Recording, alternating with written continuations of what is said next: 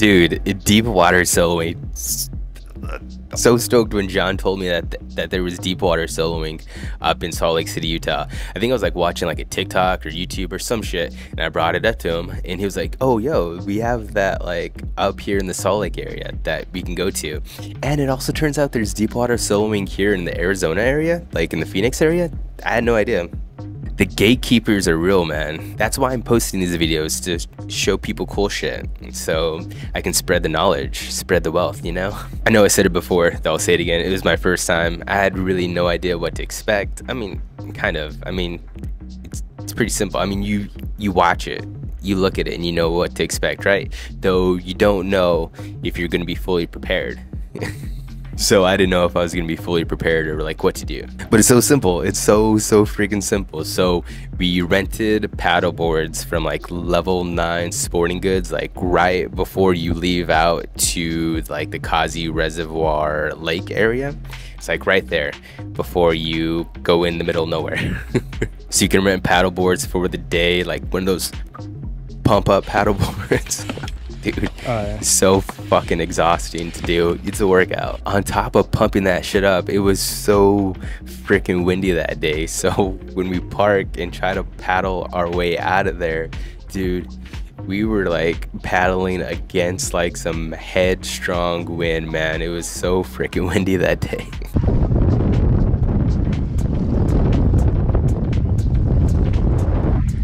On the plus side, I, I don't remember what day it was, like of the week, or what day in general.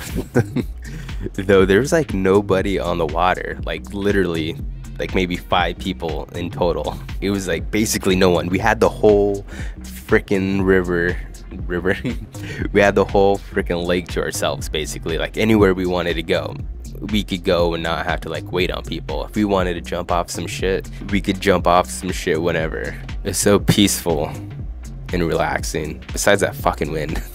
Another thing to note, it was like a really low water day. And you could tell too whenever you look at the like side of the hill or mountain or whatever, the rocks, you could see kind of like where the water level normally is at and then like where it's at now.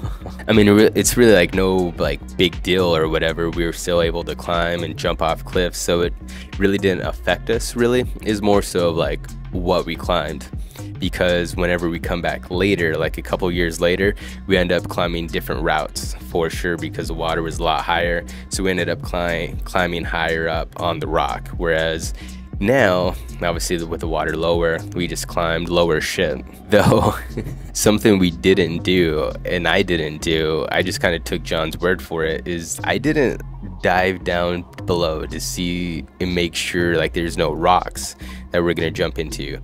John just said, yeah, people jump from here, and I just kind of took his word for it. Dude, I put my fucking life in his hands. Just like, oh, okay, people jump from here. John said so. I guess I'll jump from here without diving down and checking myself. I mean, I don't think he's he's like trying to set me up for failure. Like he doesn't have it out for me. But you know, you just always kind of you should be sure, you know.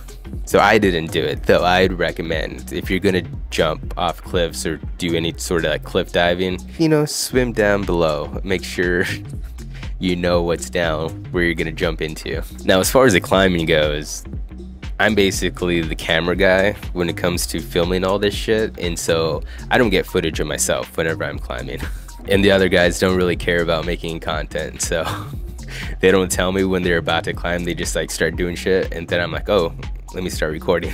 so I don't have all the climbs. So I do have one of the climbs that we did uh, of John climbing like this vertical wall that uh, we ended up climbing. At the same time, I'm trying to hold onto the rock to make sure I'm not floating away. It's windy. I, will say that a hundred more times throughout this video. It was a windy fucking day. so I was holding onto the rock to make sure I wasn't like floating away. And my camera was like super fucked up. So I'm posting it like where it's showing true to like the angle, but it's gonna look super fucked up. But it's gonna be true to like more of like the angle of the rock. Because if I post it like full on square, it's gonna look like he's climbing overhang or super slabby, and it's not. It's super vertical. It really just had like this kind of like crux at the very beginning, and then just kind of figuring out your feet after that. But super fun. Yeah, just like that. Perfect. Oh yeah. That's it, man. That was the crux.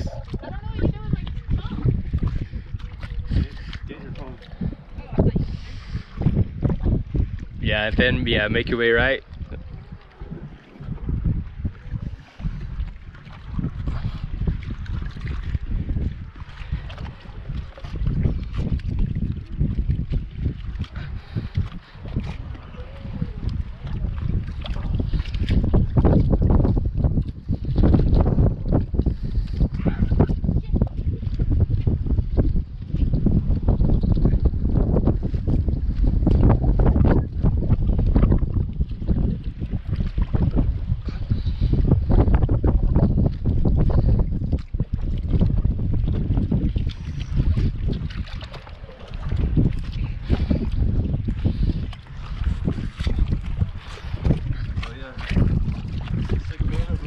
Nice, hell yeah. Yeah, that's what it was.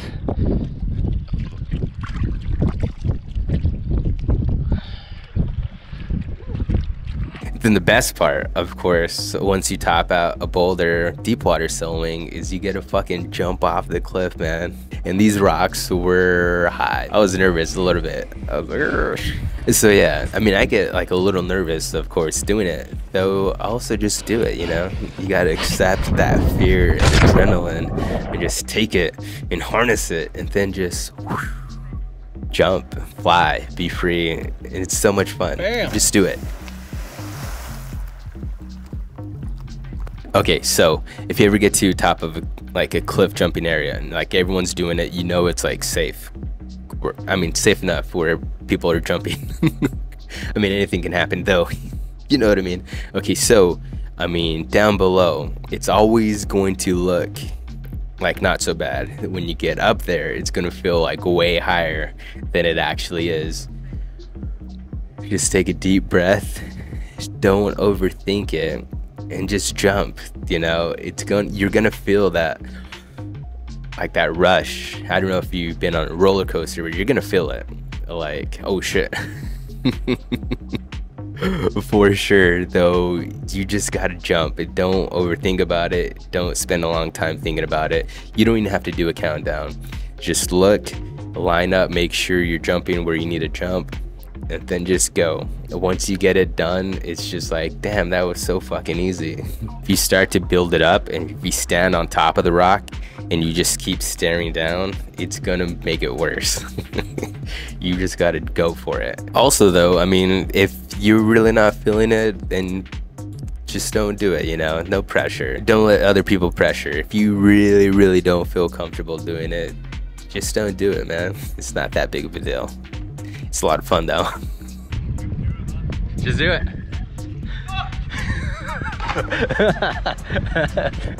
Just do it.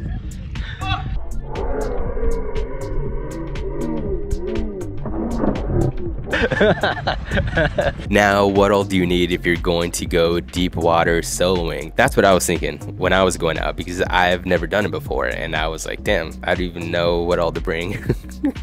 so let me help you out. One, for sure, you need a way to get out there, of course, to the rocks. So whether that's like someone's boat, if you have rich friends, or just like a paddle boat, a paddle board, like we we got is like a day rental. I can't remember how much it was. I think it was like 50 or 100.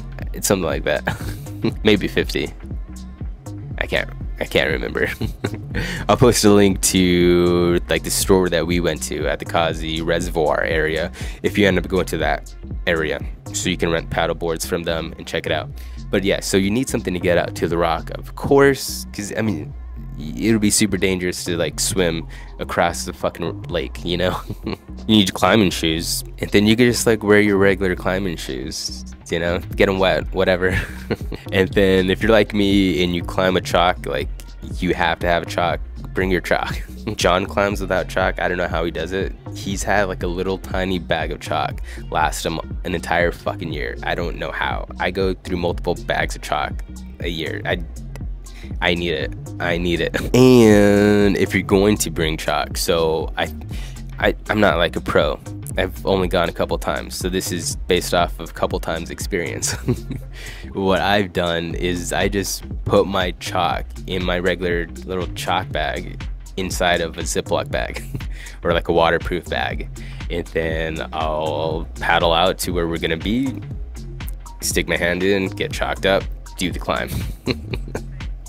I don't take like a bag with me. I don't take a bag with me when I go bouldering anyway. I just chalk up once and then do the climb. I think sometimes people bring out like waterproof bags if they're doing like super long routes and put like just like a little bit of chalk in the bag and then go with that. But not me. I just like chalk up once, leave my chalk on the paddleboard, and then climb up. In addition to that Ziploc bag for your chalk, I'd recommend bringing another sort of like waterproof bag for like your phone or whatever shit that you bring out with you. And that's literally it, besides like typical lake shit like sunscreen, sunglasses, shorts, swim gear as far as climbing goes, I mean, just treat it like a climbing day, really. I'd say the biggest difference is having that like waterproof bag for your chalk and then just a paddleboard. Albie even got in on some deep water soloing and some climbing, super dope. He ended up taking a line up the rock, super cool, super proud of him for going up there and doing that.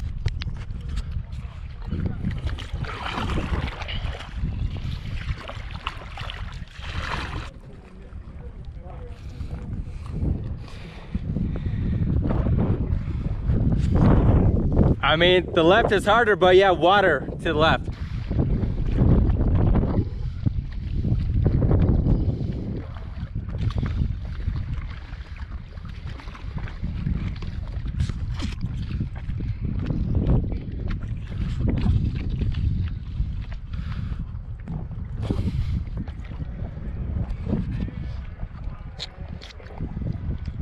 Yeah, try to find a foothold to your left and make your way out that way.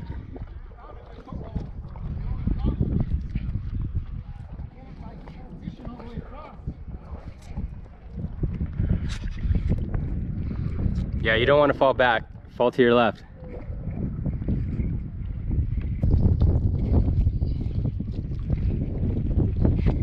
Oh, hell yeah.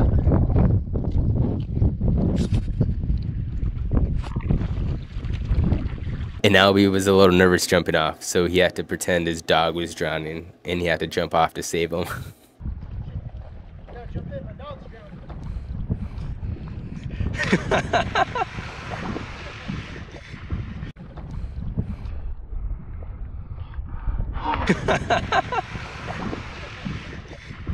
After fucking around with some climbing there, we ended up paddling to the other side of the lake to do some more cliff jumping. And I don't know, I think I feel like that one was a lot, not a lot higher, but I feel like that one was higher. There wasn't really like any climbing going on on that side. It was basically straight cliff jumping. Yeah, this is probably, honestly, probably the best lake here just because it's like it's all a ravine. So I mean, there's even even on like hot ass days, it's like shady those spots. You can just chill.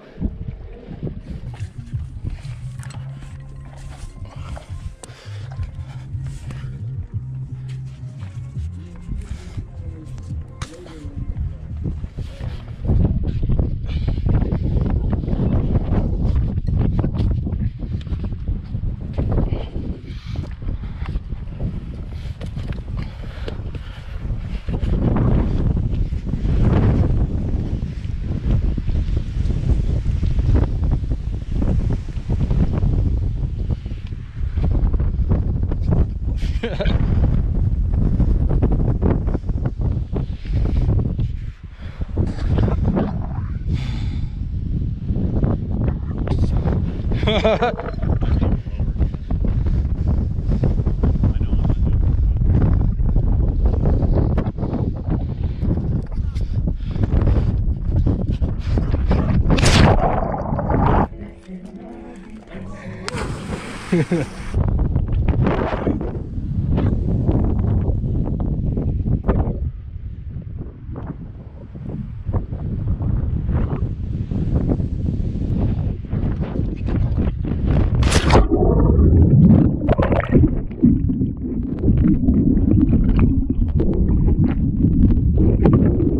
super fun times at the lake. It's called Causey Reservoir though if you want to go check it out. You can camp there too. I'd recommend making reservations. I could probably drop a link where you can make reservations to go camping as well. I wish I had some more footage of some more climbing though.